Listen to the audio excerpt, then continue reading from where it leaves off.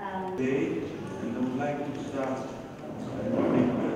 The, projet on three very concrete the plenary court by Parliament of Georgia, the President of Georgia of the majority, Renard ვერენციის კომისიის წინაშე ჩემი გამოსვლა შეეხო იმ პოზიტივს, რომელიც ჩვენ შემოვიტანეთ საკონსტიტუციო სასამართლოს გასაჯანსაღებლად მოცემული ახალი კანონებით და ასევე გავამახვილე ყურადღება პრეზიდენტის მიერ სამშემოთავაზებაზე და იმაზე, რომ პარლამენტმა გადაწყვიტა არ დაეძლია ეს ვეტო და მთლიანად გაეზიარებინა პრეზიდენტის პოზიციები.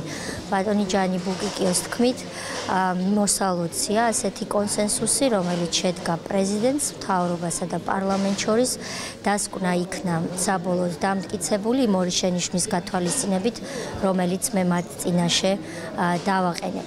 ასევე გადაწყდა, რომ ზოგადად ევროსაბჭოს წევრ ქვეყნებში საკონსტიტუციო სასამართლოების რეფორმირების დარგში სამეცნიერო სამუშაო ჯგუფი შეიკრიბება.